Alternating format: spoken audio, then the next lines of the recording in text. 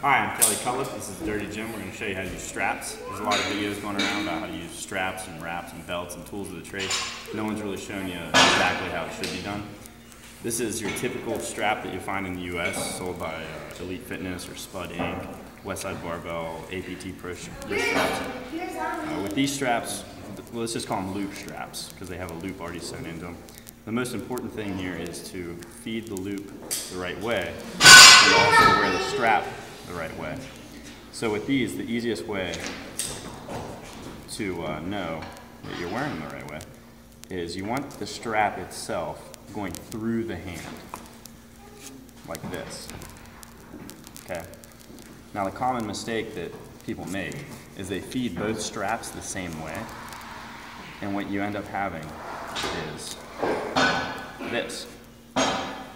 Now, take a second and look at that and try to think. See that, you can understand how this is gonna wrap around the bar and then I can grab it. This is going the complete opposite direction of my grip and there's really no logical way that'll work all that well.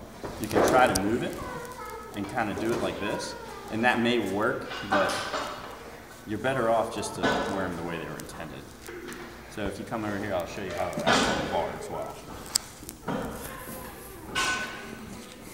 So if you're setting up for a snatch with straps, your best bet is to have your footing and take both straps loosely around the center of the bar and gently slide out.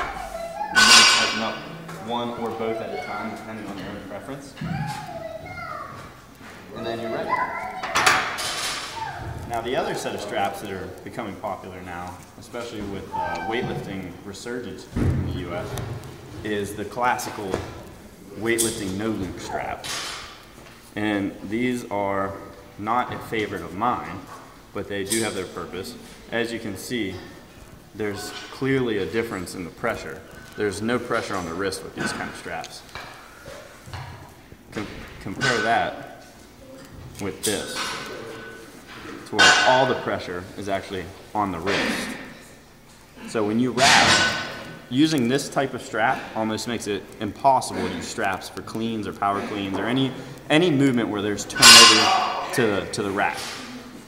Compare that to this, and you can easily see how now you can safely do cleans with straps. Uh, 2006, I actually broke my arm doing cleans with straps like this. So now I'll show you how to wrap on the bar with the classic strap. It's, it's actually just the same, but this strap is going to allow you three different ways to wrap depending on your preference. One is you can wrap like a normal strap by just going over the bar and grabbing and twisting to your own, your own preference and tightness. The second is to go through the strap itself, which can make releasing the bar a little more difficult but this seems to be the preferred method for people at dirty gym especially. And then the third is just to go outside like this. And that, what that really does is it kind of allows you to take your three strongest fingers during the hook grip and maintain that. So if you're someone who likes to maintain your hook grip while also using straps, this third method is going to be your favorite because it's also going to give you a little bit of extra strength, hand strength.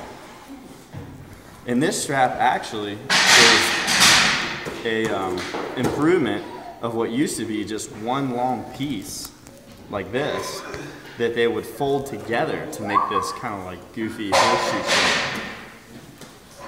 And what that looked like was just this. And then they would grab that and roll it up. So there you go. There's, there's your third strap.